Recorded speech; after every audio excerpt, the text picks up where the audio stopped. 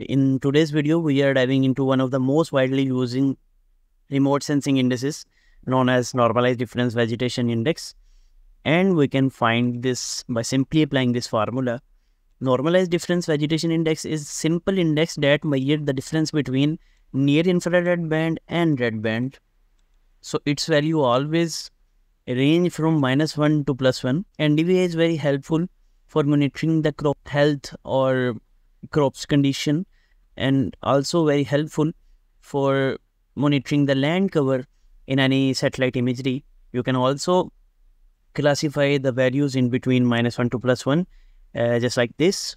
If you are checking the health of any plant or any crop and you can also classify its values just like this. The values that are in minus or negative are actually representing the water. Okay, so in this tutorial, we will see that how can NDVI is very helpful for checking the land cover in any satellite imagery. So first of all, we need two bands of any satellite.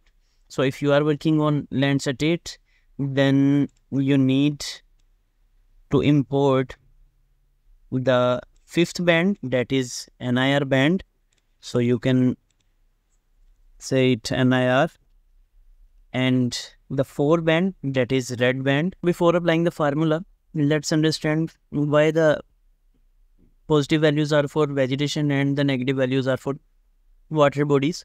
So when the vegetation is high, we know the healthy vegetation reflect more near infrared light as compared to red light because red light is completely absorbed by its chlorophyll and in this result the there will be the larger difference between NIR and red band and the NDVI value will be closer to plus 1 uh, will represent the healthy vegetation.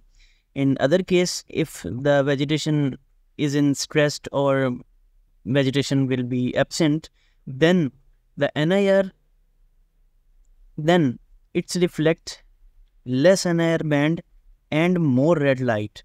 So the difference between NIR and red band will become smaller and the value will come close to zero. And in third case, if the red light reflection is higher than near infrared light in case of water because water completely absorb NIR energy so the values can be negative. So for applying this formula uh, we need a tool that is known as raster calculator just go to search and uh, raster calculator this tool.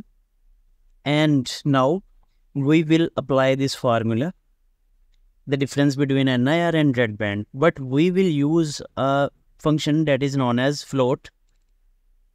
Float NIR minus float red divided by float NIR plus band and from over here you can select the output. So why we are using the float uh, but the real formula for uh, calculating a NDVI is actually this simply the NIR red band. So why we are using the float function over here? Here we are using the float function because it help us to preserve the decimal values and give us the accurate results of NDVI. Eh, so suppose we are not using this float function, then this expression will be operate as integer division.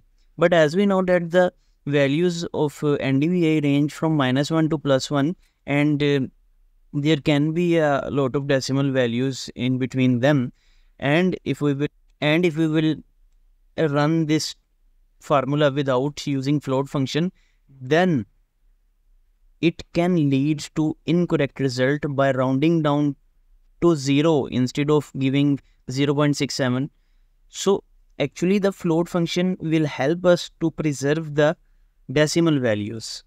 So you can uh, give output uh, location to your raster dataset and just hit OK. Here you can see that the values are in between minus 1 and plus 1. Okay, so now in this uh, NDVI layer, we will apply that classification. So let's start with this classification. The values that are in negative are actually water. So we will go to its properties and then classify and three classes. The values that are from minus 0.220 are actually the water and then the values that are 0.2 are bare land 0.2 and after that other values and the higher values will be the vegetation. So just hit ok. And this is water bodies and these are the land or built up area and this is the vegetation just hit ok so you can see over here. If you will read on internet then there is a lot of research that is only has been done on the ranges of ndvi so in this tutorial we are our main focus is toward mapping the land cover with the help of uh, ndvi so let's go to our catalog and then import a shape file of pakistan. And this is the city of muzaffarabad just select this one and create a layer from selected feature. And uh, just select this shapefile and in image analysis tool from over here. Just select your ndvi layer. From over here just hit this button and clip the ndvi for your region region of interest just like this. So now we will make more classes in this like four class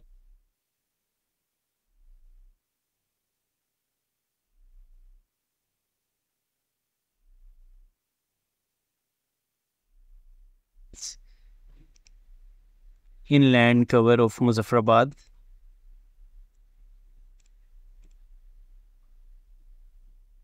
So this is the main city so it's can be say as built up area.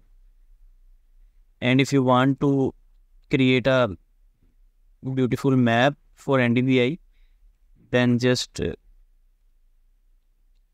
go to the layer layout layout view. Move all other layer and make a a5 portrait. Just insert a northing arrow from over here and insert a title NDVI for Muzaffarabad 2024. You can change its style from over here. You can increase its size.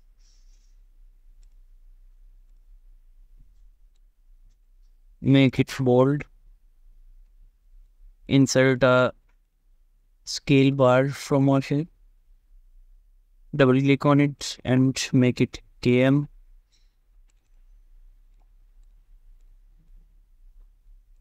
it's like this and insert legends. Okay okay.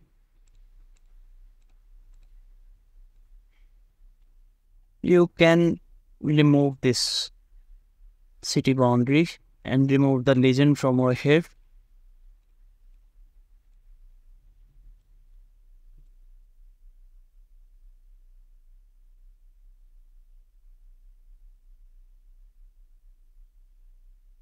So these are for water or snow bodies. And this is for bare land. And this is the font style from over here. And uh, you can also add some grids in this layout. And from here, just export your map NDVI.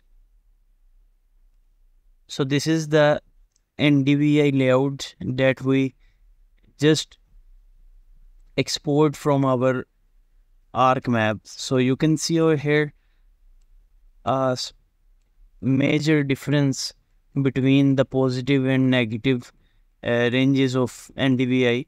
The negative values are representing the water bodies clearly and in northern area the mountains are covered with snow and then bare land and then some light vegetation and then dense vegetation. So ndvi is very helpful indices to measure the vegetation in any land cover or for monitoring the health of vegetation in any satellite imagery so many thanks. Take care. Allah